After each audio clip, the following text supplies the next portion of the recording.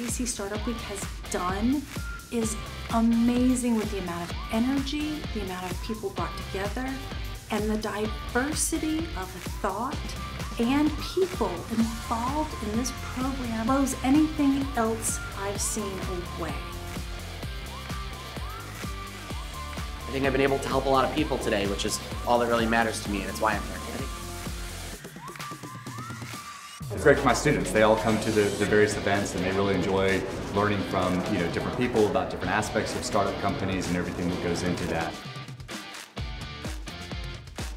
Is not a, a journey that you do by yourself. You want to go far, you go with others, and in spaces like this, it's best to find those others that you want to go far with. And so I learned that for myself even, it's best to take time away from the meetings and you know the, the grunt work, if you will, and the grinds, and just make time to fellowship and break bread with other innovators.